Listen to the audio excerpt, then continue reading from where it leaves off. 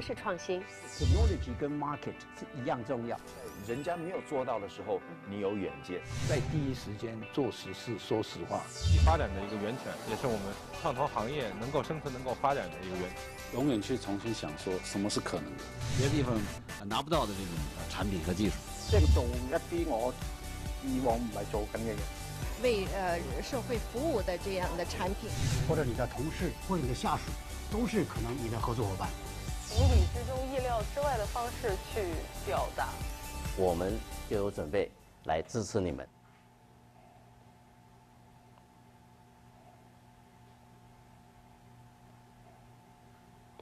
亲爱的观众朋友，你好，欢迎您收看今天的《硅谷看世界》。那么今天呢，我们讲这个话题是海外人文海外的文化人呢如何延续梅兰芳。为大家请到的嘉宾呢是画家段昭南老师，段老师你好。你好。嗯，那么我们为什么讲这样一个话题呢？今年呢，正好是我们呢在这个 Cupertino 这个城市，就是苹果电脑所在的城市呢，呃，一起合办中国电影之夜的一年一周年的时间。在去年的这个时候呢，我们就开始呢跟 Cupertino 的一家呃美国的电影院呢合作呢，开始播放中国电影，让美国的观众呢能够通过字幕来了解呢呃中国文化，通过中国电影。那么到现在呢，正好是一年的时间，一周年的时候呢，我们就选择呢。放映梅兰芳这一部电影，那么另外呢，呃，在这个电影在播放的时候呢，同时呢也请了段昭南老师和段昭南老师介绍的两位呢京剧表演艺术家，来给美国的观众展示一下什么是京剧的中国的京剧文化。其次呢，段昭南老师他自己呢，在这个去年，呃，就是梅兰芳去世，呃，梅兰芳诞辰一百二十周年的这个时间呢，他自己做了一个一百二十幅的，就是梅兰芳戏曲人物画的这个画作。然后呢，在许多地方呢开始巡展啊。那么，呃，我们也可以看到一些图片，他在中国在很多地方巡展的这个情况。所以呢，他可以说在这个之前呢，他做了大量的工作，可以说他用他一生的时间在追求艺术，而且对梅梅兰芳对中国戏剧呢做了纵向和横向的深入研究。那么，在我们节目之前呢，也为大家来介绍一下段昭南老师。段昭南老师呢，他是一九五五年出生在中国云南。著名的中国戏曲人物画家、教育家、剧作家和制作人，中国戏曲文化学会的理事顾问，美国中国文化艺术家联合协会主席，美国卡梅尔美国画廊的签约画家。从一九八六年至今呢，在中美各大报刊上开辟了二十多个段昭南戏画专栏，那么发表了上千幅的戏曲人物画，也接受了美国艺术收藏家杂志。电台、电视、报刊两百多次的专访和报道，作品呢为美国、日本、韩国、台湾的私人及民间机构，还有中国的国家级博物馆收藏啊。这是一个段老师大概的介绍。但是我们今天呢讲的就是这个呃梅兰芳精神。其实呢，你也是一个梅兰芳迷，为什么呢？呃，首先跟大家问个好，嗯，各位电视观众你们好。那么我非常感谢钉钉 TV 能压出这么大一个时段，这么重要的一个时节来宣扬梅兰芳。那么对于梅兰芳的尊重和热爱，不仅仅是一种嗜好，因为梅兰芳精神是能够让我们看到一个中国的国民文化，看到我们一个文化的历史的严格。那么这一次由这样的一个电视台来做这样一件事情。我觉得这是举足轻重的，因为我们的生活已经开始进入到一种繁琐化，人们开始在追求着一种欲望。那么自己的理想是什么？自己的希望是什么？自己的个性是什么？你刚刚讲了三个理想、希望和个性。对。那你觉得你自己的理想、希望和个性是什么呢？我的理想就是在这个时候可以比较明确讲，就是做好我自己。嗯。而让世界能够绽放出我自己的个人魅力。嗯，其实段老师啊，我认识你蛮长的一段时间，我觉得你对很多事情都有你自己深入的一个思考，而且呢，非常非常具有高度的概括性啊。所以我们在讲梅兰芳精神的时候，梅兰芳的精神，您总结的是什么呢？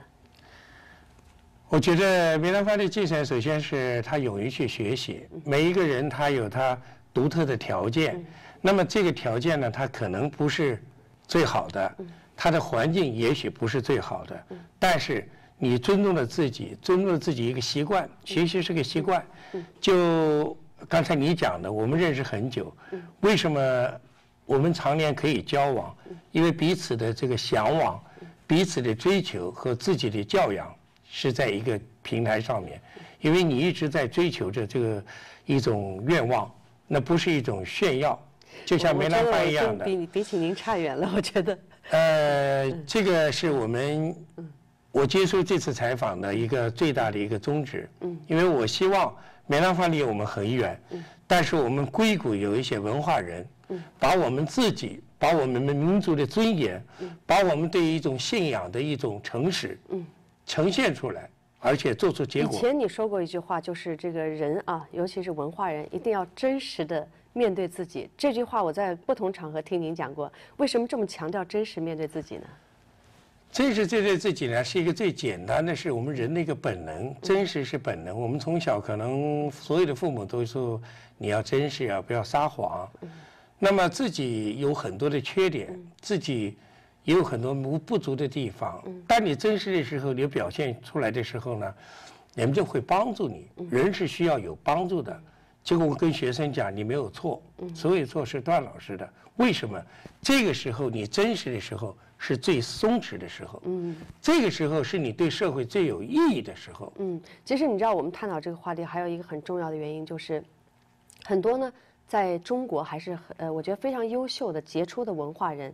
来到了海外啊，不不只是在美国，可能在世界任何地方的时候，都会经过一段挣扎的时期。就是说，突然间呢，我们在习惯的土地上的这种文化和艺术，我们到这个地方以后，不知道如何去绽放，不知道如何去发挥。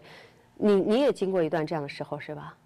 谢谢你提的这个问题，因为我们同样可以说是在一个呃一种愿望里面大家同行过。嗯。这个每个人彼此都看得到。嗯。这个对于我来讲，就我记得，哈姆雷特有一句话，他跟他母亲讲：“母亲，你应该用一个镜子，照照你自己的灵魂。”因为那个时间对我来讲是一个陌生，但是我没觉得挣扎是痛苦的。因为挣扎的过程是需要很多的营养。无论你从事什么行业，你作为科技创投，做些理财，首先。你自己要觉得你喜欢不喜欢你存在的意义，你喜欢不喜欢你要做的事情，你要勇于在这个里面学到自己所需要的东西。学习不是一个事故的交易，嗯，你知道吧？学习的过程是让你自己更加的快乐一些。对，对，你刚刚讲到就是这个挣扎需要营养啊，就像好像说一个车，你要一直不停的往前跑，你需要这个汽油是一样的。那你是在哪里获得这些营养的呢？我比较杂一些，我呢是第一个就是喜欢读写东西，第二个呢，我希望交际一些，呃比较好的一些机构，那么彼此呢能够知道社会要什么，我们能做什么，最重要的呢，呃体会呢是。彼此的一个尊重。嗯，对，呃，梅兰芳精神的第一点，我们讲到是这个，就是善于学习啊，他要善于从别人身上学习。其实我相信你在这个海外，可能也是跟周围啊，包括美国的艺术家也学到很多东西，是吧？学习呢，我觉得它不是一个固定的动词，它是在于你的一个习惯，就是你的生活中间要有好奇心。那么，呃，所有的东西都是在学习。那么在这个过程中间呢，你会，呃，听到一些精神上的、行为上的，还有一些经营上的，这个所有的一些方式方法，那么可能它不会具体的，不会的具体的在你某一个行为的过程中间使用上，但是它会补充你自己。我在画画里强调，我在做人上强调，无所谓有，无所谓无，多一笔少一笔不要紧。但是你不能心无点墨，嗯，你内心要强大。对，其实我觉得学习的这个过程也是让让我们放开心胸的一个过程，让你呢就从不同的角度去看世界、看自己。如果狭隘的讲呢，那个是一个大度，嗯，因为学习是更宽阔的，嗯，学习因为它包含着你的个性，嗯，你的生活态度，嗯，你的这个处事的一些能力。嗯，那么你说，如果宽容那些东西只是具体以吸取了它一个部分，所以学习不是企图，也不是目的，学习是应该成为我们的习惯。嗯，因为在学习里最大的桥梁就是尊重。当你尊重了别人，尊重了社会，尊为你现在所作所为，你会得到很多的知识。嗯，梅兰芳其实是一个非常善于学习的人。你看他自己整个的戏曲，他也从别的艺人当中学到，或者说从其他的文化当中，他在出访了很多国家之后，他也从不同的文化当中吸取了一些精华。梅兰芳的伟大呢，是在于他一个爱学习。他我刚才讲，他条件不是最好，但是勤奋，他学见谁都学。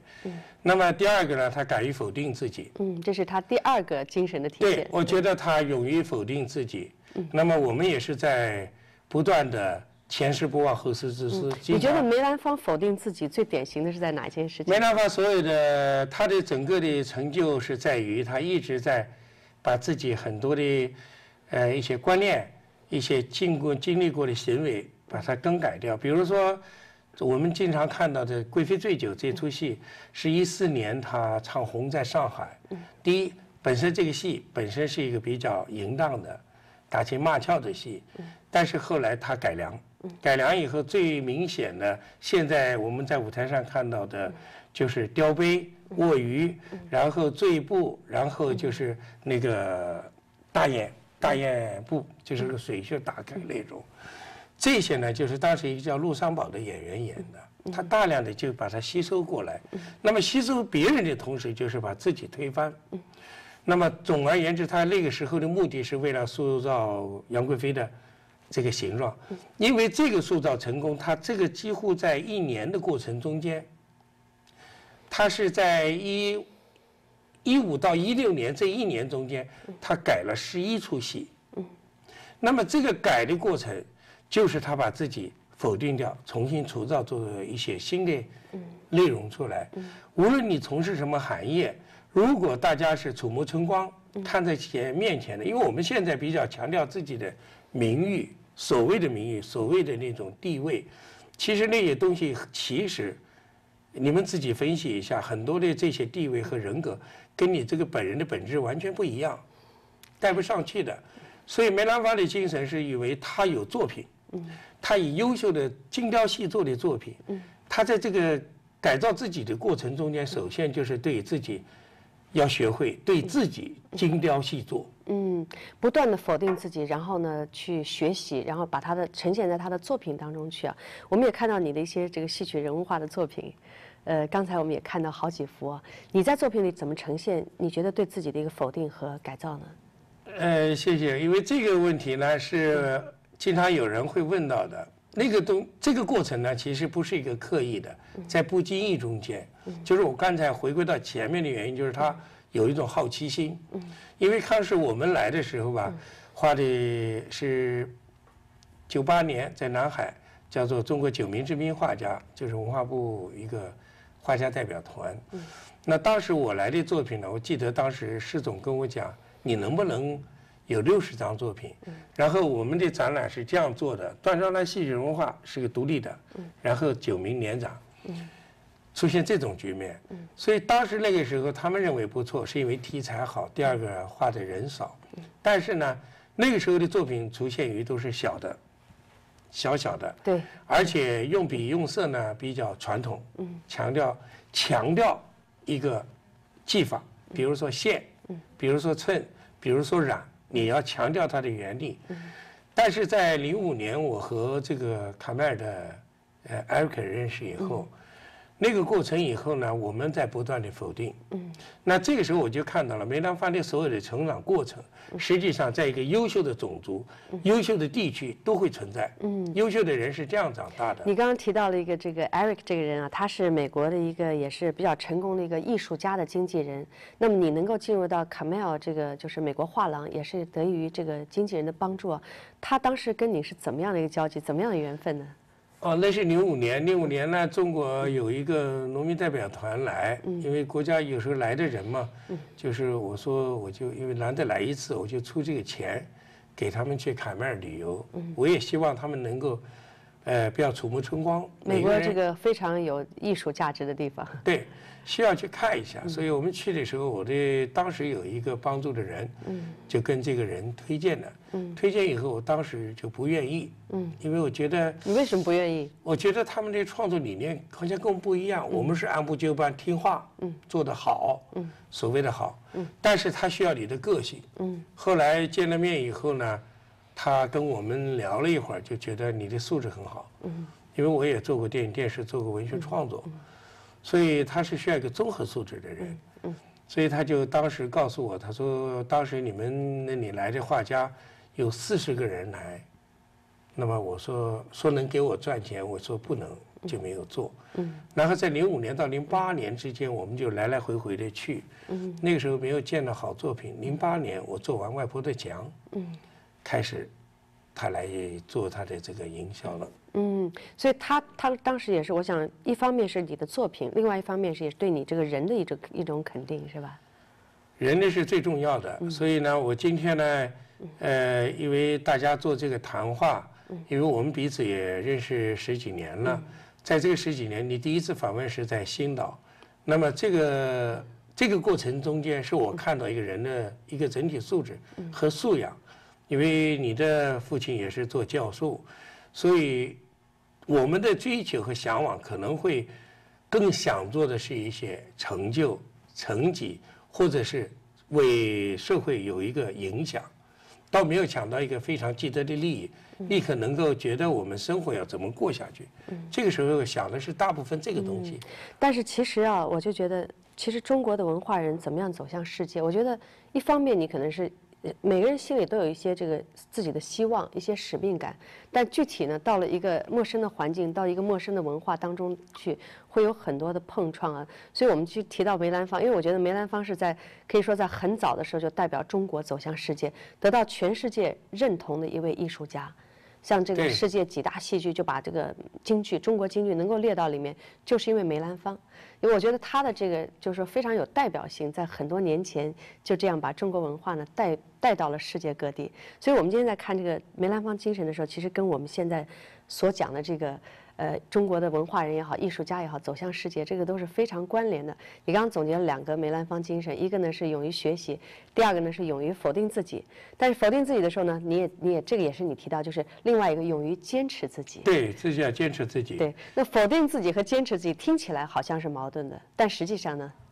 呃，刚才你提的这个问题呢，我先把这个回答掉，就是中国的艺术家或者是所谓的艺术家们，怎么样子能够？呃，走向世界，首先我觉得自己要把自己当成一个人，你要还原到你的本质，因为每一个世界，每一个人都愿意去帮助你。一个人的存在不是因为你存在而存在，而是社会所有的人们的帮助。梅兰芳坚持自己，是因为他坚持着他勤奋，坚持着他对社会的一种贡献。一九二九年，他曾经在美国演出八个月。那引起的一个影响力，那当然很大。在你梅兰芳电影里，在他所有的历史过程中间，这个是个非常重要的部分。那么这个贡献不是他扛着粮食来了，支援了困难，也不是他为你投资盖了工厂，没错，而是他传播着一个精神，没错。所以一个人的成就是在你的举手投足之间。你个人有了魅力，你才能够感动别人。我们不是要进入一个什么流？嗯，这个世界艺术作品没有大作品，没有小作品，嗯，只有好作品和差的作品。那么社会也没有主流和次流，而是要最好的人。嗯，首先呢，就像你刚刚讲的，你要进入，你要你不是要去到这边去征服人家。其实现在我们看到，就不管是艺术也好，其他方面也好，可能呢，因为随着中国经济的发展，那么很多人来了以后，哦，我们可以去。收购这个，或者是可以去购买那个，但是呢，其实你来到一个地方的时候，并不是去要征服别人，或者说所谓的我要进入主流，而是呢去绽放自己。那怎么就是说这个绽放？当然，我觉得如果要讲这个这个，像你这么多年，也可以说一直在努力绽放自己，要讲这个过程呢是很难的。但是你觉得这里面啊，你刚刚说要把自己当成一个人，那么当成一个人，你觉得有哪几点是必须要做到的呢？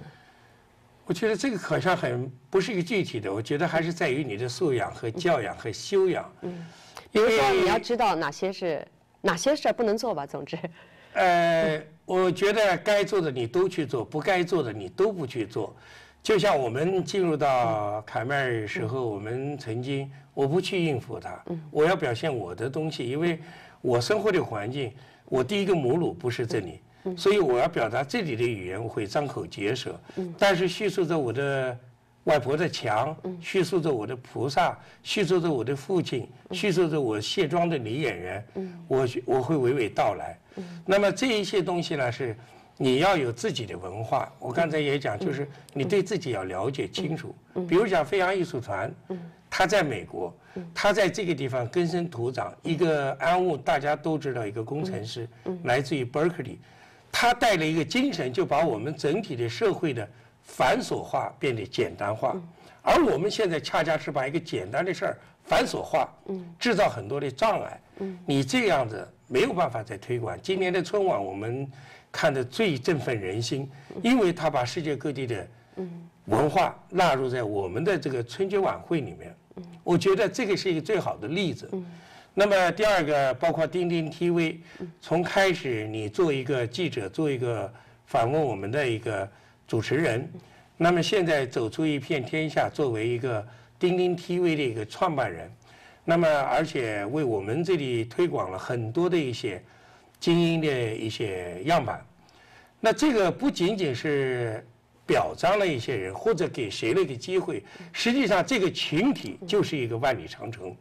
谢谢你，段老师。我觉得我也是因为看到这些周围这么多的人啊，像你刚刚提到的这个飞扬艺术团团长安物胡琼军，也是我很好的朋友。就是我看到一些人，不是说坚持一年两年，而是十年、二十年，甚至三十年这样的时间呢，就是非常的专注的、坚持的去在做一件事情。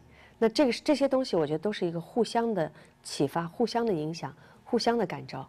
对，嗯，就像明天这个梅兰芳的电影，我们没有一个人是亲受、亲自接受过他的教诲。段章兰，你要做什么？那个丁薇平，你要做什么？是他的一种精神。我们最重要的是领悟到这种精神，把它变为自己的一个动力。你要知道，在我学习的时候，一一年我做展览，我记得讲那个最清楚的一句话，就是我在寻找着感谢，寻找感谢我的老师叫王信强。因为我觉得一个人，他当他付出这个信任的时候，因为他信任我，付出信任是吝啬的，但是你不要把它挥霍掉。我是觉得这是我觉得很奢侈的东西，我一直珍藏的。所以我们的每一步要有传统，也要有自己的一个自己的一个见识。因为你无论走到哪里，走到美国也好，我们从中国的南京走到新疆也好。你都会接受到一个文化的气息，嗯，所以在这个整体的这个活动中间，明天的这个电影呢，我觉得最大的意义，嗯，是希望我们能够近距离的，能够真真实实心的用自己扪心自问，嗯，我尽管我，呃，在在金钱上可能会很富有，嗯，我精神上还有没有这么富裕？嗯。有的时候呢，就算你在金金钱上不是很富裕的时候，你仍然可以去追求精神啊。那就是我们在跟卡梅尔合作一样的，你的企图是什么？你的愿望是什么？我所作所为，我觉得我们都是应该做的。我的所有作品只是取决于上帝的快乐。嗯，太好了，这句话我非常喜欢。你的所有作品是取决于上帝的快乐。那么就是人怎么评价，人怎么看没有关系。我们知道我们是谁，然后我们知道我们在上帝的眼里我们在做什么，这样就足够了。那今天我们的这个话题呢，就是海外文化人如何。延续梅兰芳，那梅兰芳这个可以说是一个代表人物啊，一个非常成功的艺术家，把中国的文化带向世界。刚才呢，段老师总结的三点就是勇于学习别人，勇于否定自己和勇于坚持自己。那我们尤其到来到美国或者来到世界各地的时候呢，我们不是要进入主流征服别人，而是呢，努力的绽放自己，绽放自己的这个。根植于我们心中的这一份文化，到这的时间已经差不多了。非常谢谢段兆南老师，也谢谢观众朋友的收看，我们下次再见。谢谢你们。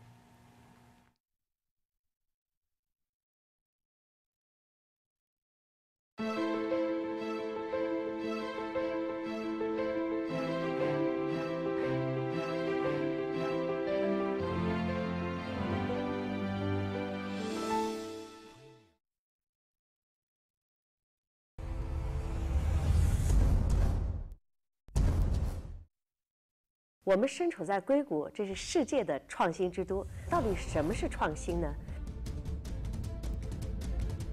未知的一个追求，一个想法，你要有梦想，开放和包容。人的一个 nature，就是他生活中需要的东西做出来。它也许呢是一个产品，也许呢是一个文化，也许是一个做事方式，也许呢是一种思想。它可以是任何的东西，就是打破你旧有的思维和传统的限制。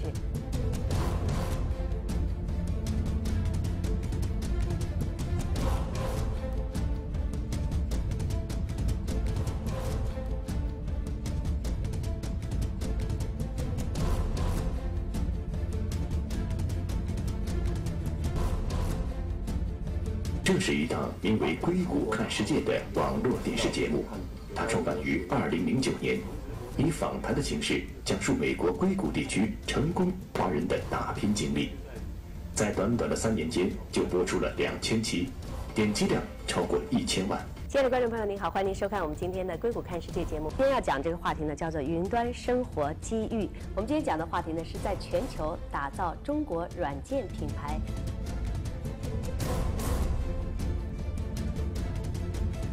创新呢，就像野草一样，野草疯长，真正具有自己的生命力。